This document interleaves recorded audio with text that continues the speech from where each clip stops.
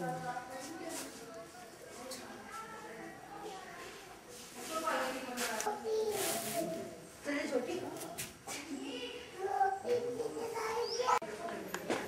कब से लग रहे हैं थोड़ा ये तो जब से बने हैं तभी से लग रहे जी सारा कर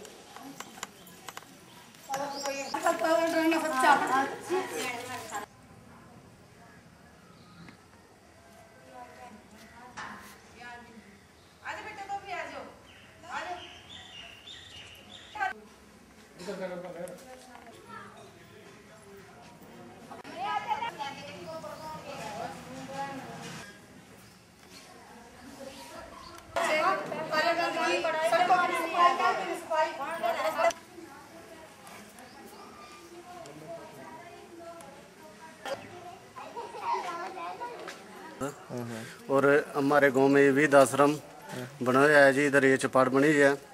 और इसमें इसमें बहुत ज़्यादा गंदगी है और अवैध कब्जे हो रहे जी इस पे। दोनों पे जी।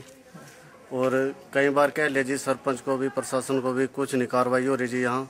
और काफ़ी डांगर भी बंद हुए हैं जी यहाँ पर। सरकार और साना यहाँ पर कुछ नहीं है जी। यहाँ पर नालियों में भी बहुत गंदगी फैली हुई है जी। और फिरने में भी बहुत ज़्यादा गंदगी है। कुछ नहीं स्वास्थ्य के लिए कुछ नहीं काम हुआ है जी यहाँ रंदोली में जी। बस सरकार से मांग है जी यहाँ की सफ़ाई साफ़ सुथरे हो जगहों। बस यही है जी हमारी मांग। ये यहाँ से कब्जा मुक्त करवा दिया जाए जी। ये विधो आश्रम बनाया था बुड्ढो बुर्ज के वास्ते और यहाँ गोबर कूड़े जानवर मक्खी मच्छर सोवा जी।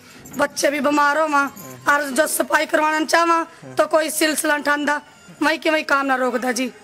कोई आगे होकर नहीं चलता यहाँ का ना कोई सरपंच ना कोई मेंबर यहाँ था भाई जो ये गाँव की गंदगी हटाओ यहाँ थे या कोई वो करा जी। ना किसी गरीब वास्ते कोई ग्रांट ना कोई प्लाट कुछ इस, नहीं है जी। मामले को लेकर के कहीं शिकायत करी गई सुनवाई हो रही है कोई? नहीं जी कुछ नहीं हो रही है जी। बहुत फेरी कह लिया जी। तो एक बार मेरे घर वाले ने कहा भी था तो सरपंच ने उसका मोटे बात मारा कोनी ना पैलेस बना देंगे। आज लगे पैलेस नहीं बने जी। वैसे तो रंदौली गाँव काफ़ी साफ़ सुथरा है। अगर वहाँ से कोई कमी है तो उसको दुरुस्त करवा दिया जाएगा मौका देख के। मेरे पास तो फ़िलहाल कोई शिकायत नहीं आई। लेकिन मैं फिर भी उसके मौका देखकर या ग्राम शिव से रिपोर्ट लेकर, सरपंच से रिपोर्ट लेकर, अगर कोई वहाँ पर कमी है तो उसको दूर करवाएँगे।